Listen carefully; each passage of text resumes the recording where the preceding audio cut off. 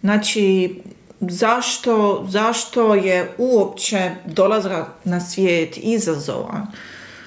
Pa, amo, ja se uvijek volim, volim onako vratiti malo unazad, a to je u principu taj proces dolaska duše u ovu materijalnu realnost je izazovan zato što znači razlika u gustoći ove materije i onoga odakle dolazi duša, kako god mi to zvali, i nebitno, jel? Sad da ne ulazim u tu cijelu ezoterijsku i duhovnu priču.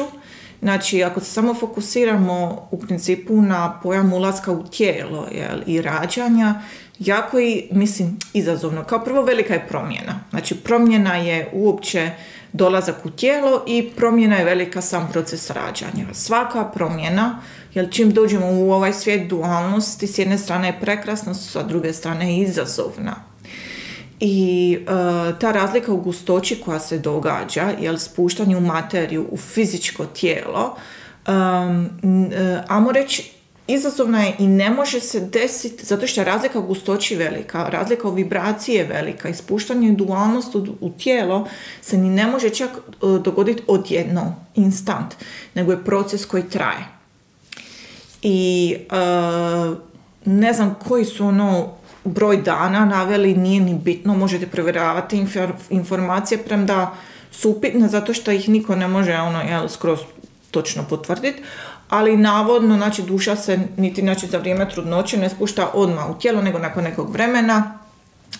I, e, i nakon poroda znači to utjelovljavanje jel, e, je proces jer u tim prvim periodima znači beba je jako povezana sa duhovnim na jednoj razini je kao da živi na dva svijeta jel i čim poroda, znači vezan uz taj proces inkarnacije i silaska duše u tijelo je od iznimne važnosti. Zašto? Zato što je u principu, kad pogledate kako je to sve skupa magično i moćno, je zašto se cijelo vrijeme naglašava majka. Naravno, otac je bitan na 300 milijuna načina, ali trudnoća i porod, znači nitko ne može to odraditi umjesto majke. Znači to se sve događa u, u tijelu majke, u majčinom tijelu. I ako ćemo gledati na takav način, znači spuštanje iz duhovnih dimenzija u ovu materijalnu, znači majčino tijelo je alkemičar. U principu je glasnik i prijenosnik i most. E, onaj koji je, stvara tu preobrazbu i transformaciju iz duhovnog u materijalno Znači, kroz ženu, kroz ženino tijelo. I to je ogromna, ogromna promjena. To je ogromna transformacija, ogromna životna sila znači, koja, koja se događa u cijelom tom procesu. I ne čudi što je znači e, sam porod jako intenzivan, ali na više, znači naravno i na fizičkoj razini, to ne moramo ni govoriti zašto, ali i na svim drugim razinama i na emocionalnoj i na duhovnoj razini. Znači to je jako, to je jedna ogromna u principu inicijacija.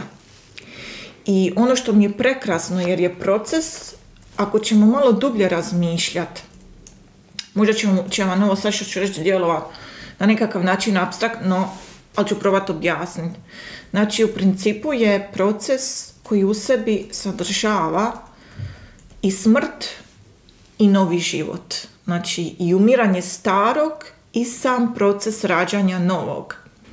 Zato što, zašto inicijacija? Jer u principu samim rođenjem, i ako ste i ti malo ulazili u temu, sigurno ste naišli na to. Znači, samim rođenjem ne rađa se samo dijete, samim rođenjem rađa se i majka.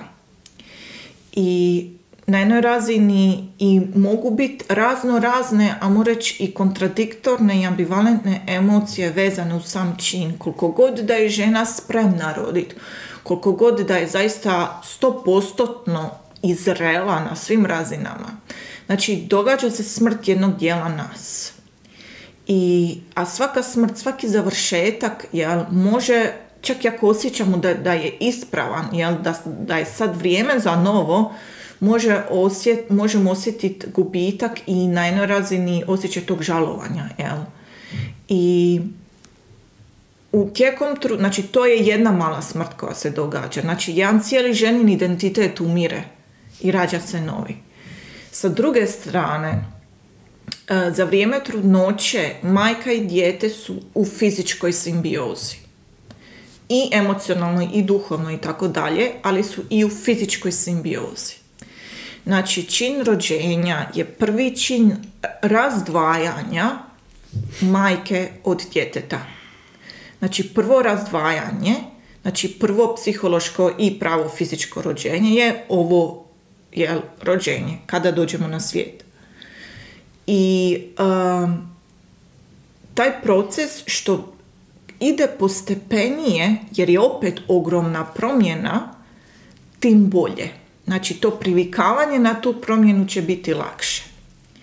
E sad, ono što se može dogoditi je da um, znači žena kada je trudna dobiva unutar sebe jedno biće koje je stalno tu. Znači, majka koja je povezana sa djetetom može osjetiti dijete na svim razinama, a osjeća ga i fizički. Znači, to je ta fizička simbioza. E sad, znači, u fizičkoj toj simbiozi koja um, završava rođenjem, ali sve ostale simbioze, znači e, majka i dijete ostaju, amo reći, jedna cijelina koja se polako na emocionalnoj i psihološkoj e, razini razdvaja, negdje do djetetove treće godine kada da, tada dijete ima svoje finalno ja. I to je proces koji se događa u raznim fazama, jel? ne događa se odjednom. Znači to je proces razdvajanja majke od djeteta, gdje sa tri godine je ako je sve prošlo u redu, dijete postaje samostalna autonomna jedinka sa svojim identitetom. Mislim i kasnije, ali to je ono što se kaže prve tri su najbitnije. Ja.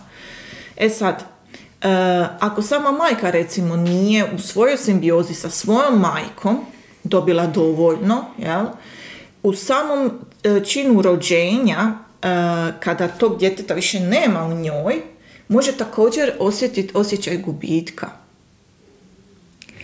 i uh, zato se kaže da kroz porod i kroz naš odnos sa djecom u principu izlazi na površinu sve ono što mi nosimo od prije. I zato kažem, jel, znači taj čin poroda ima u sebi elemente smrti, završetka i elemente novog rađanja. Znači žena ostavlja jedan dio identiteta starog, jel, ono kakvog je prije znala za sebe, u prošlosti i stvara se nova ona. Jer nikad više neće ne biti majka. Mislim, jedino u slučajeva gubitka djece, preranog i tako dalje, ali to je sad tema za sebe. Ovaj, nikad, um, kako bi rekla, većina žena nikad poslije više neće ne biti, ali čak i da izgubi dijete trajno je promijenjena. Jel? Ostaje majka. Jel? Ta poveznica sa djetetom čak i da umre ostaje. S druge strane, dijete doživljava tu ogromnu razliku bivanja unutar fizičkog majčinog tijela i te fizičke prve separacije koja se dogodi ovaj, samim rođenjem. I normalno da je na jednoj razini šok. Jel? I opet ću ponoviti, što postupnije ide proces, to je u principu jel, bolje.